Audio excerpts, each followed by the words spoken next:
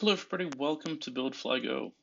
This is our second wiring time lapse. This one's going to be a little shorter than the first and uh, the next one um, because this is sort of fun. This is where we are measuring everything and we are taking the harness off of the panel and preparing the, uh, I'm calling it a pegboard, it's not a pegboard, preparing the pegboard.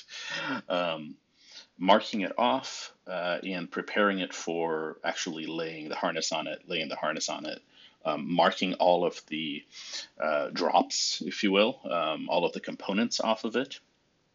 Um, you'll notice we are using white tape uh, and any color. We could have used any color tape. It's just that the blue tape that I had was two inches wide as opposed to the, I don't know, three quarter inch wide. So it's sort of fun, just like plop the harness on there to like give you an idea of size and where it's going to go measure things, and then we're like we're marking down the spine of the harness, and then you can see each individual component. And I'm using the uh, we're using the uh, ribbon, right? Like you can see that there's sort of ribbon mixed in with the um, wires that are there, uh, and this is sort of dangerous. Um, we're, we're cutting the ribbon as we go because it's uh, to, to, sort of get it out of the way. Uh, you can see Yuri is very excited about all of the new cat toys he has there. Um, and uh, yeah, there we go. So this is this is interesting um, to, to us, right? Because we're actually getting to see like how is this going to be, how's this going to be marked off, um, the actual lengths, you know, like where are things coming off, and uh, is making us think about how to organize things and how like is this going to be crazy, or is this going to work? Um, I'll be honest, right now we were a little terrified because it's a lot of wire, it's a lot of drops, and it's hard for you to tell. Like look at that one, that's that's for the the GTN.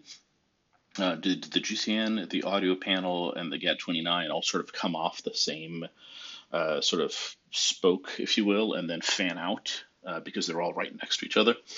So it's it's hard to tell at this point if this makes sense, right? Like if it's if it's going to work, um, but you got to trust it. Um, and uh, you I, you got to trust it. Make sure to label everything really really well. So you want to label each individual connector. Um, so for devices, you can see some devices have multiple connectors. You want to fan out each individual connector so that you know you know where things go. It's just going to make you your life easier later on. Um, and we also have markings for what we're calling subpanel uh, subpanel marks, which is where wires hit the subpanel for them to get go forward or backwards. And there's a couple of those, one on each end. Um, you know, here's here's a fun sort of staging pick, right? Like, oh, let's put the let's put some of the components there, some of the devices there. Made for marketing, right there.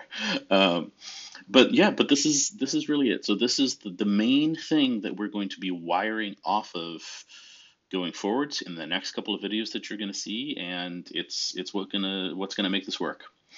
Um, thanks for wallowing. Thanks for wallowing. Thanks for watching. Stick with us. A lot more to come. A lot more videos to come. We'll see you soon.